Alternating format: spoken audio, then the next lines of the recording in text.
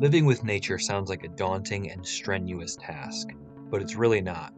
It can be as simple as getting a plant on your desk to creating a backyard full of life and biodiversity. In this video, I'm going to go over some ways you can live closer to nature, but more importantly, why you should. Starting with plants, getting a potted plant in your home is a very easy and beneficial thing to do. Scientific studies have shown an increase in productivity from adding plants into people's places of work. For that alone, they make it a worthwhile addition to any home, but they also have the benefit to increase air quality, as we all know. It doesn't take a green thumbed person to take care of at least one plant. You can get one as simple as a cactus that you really don't have to water frequently, or something like a spider plant that is really easy to take care of and will rapidly reproduce for you. Whatever plant you choose, just be sure to do your research.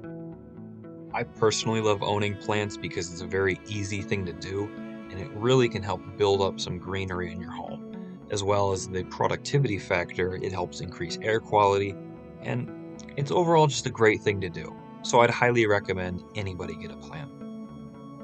Owning an animal is a very common thing to do.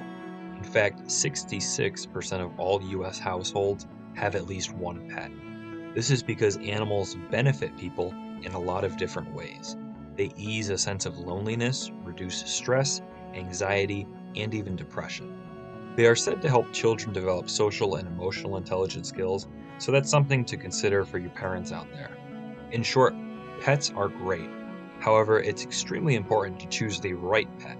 For example, if you live in a small apartment, it's probably not best to get a dog. Maybe go for a cat, hermit crabs, a lizard, or get a fish tank. Getting a pet is a big responsibility though, so do keep that in mind before you rush into getting a pet. Once again, do your research to make sure that your pet has a very happy, healthy life. It'll help you and it will help them in the long run. This crab wants you to like the video. Getting into fish, I'd highly recommend having an aquarium. After all, I am Fishman 2114.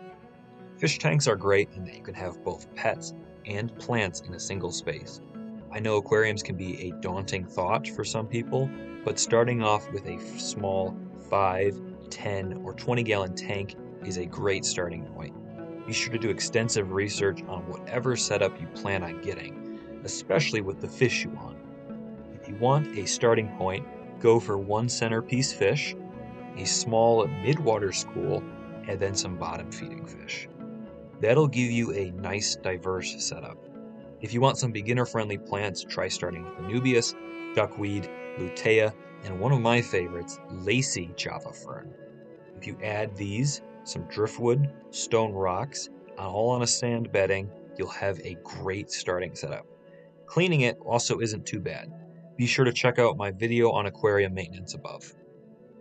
Now, if you really want to start small and not bring any animals into your home, you could always bring the animals to your home. One of the easiest things you can do to achieve this is by having a bird feeder outside your window. Everybody loves birds, and attracting them to your house is another great stress reducer. If you want to take it a step further, you can even add a bird feeder that sticks onto your windows to get an even closer look.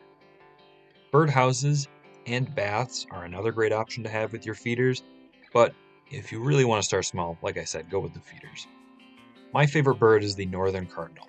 Every time I see one at my feeder, it gives me a sense of accomplishment.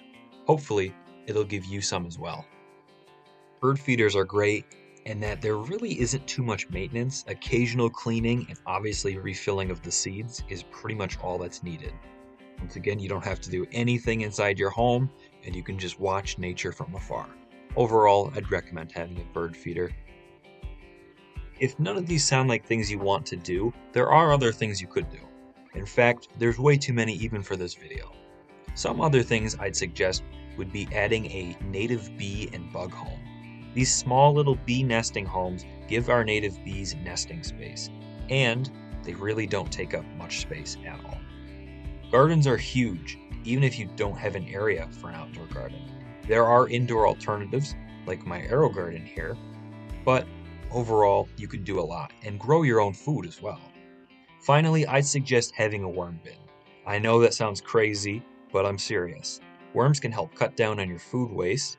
They'll eat things like banana peels, strawberry tops, and apple cores, and they'll produce a various byproducts that are amazing for your plants. These include vermicompost and worm tea. If you want a step-by-step video on how I made my Canadian nightcrawler bin, then be sure to check out this video above. Overall, any of these options are great and pretty easy to do.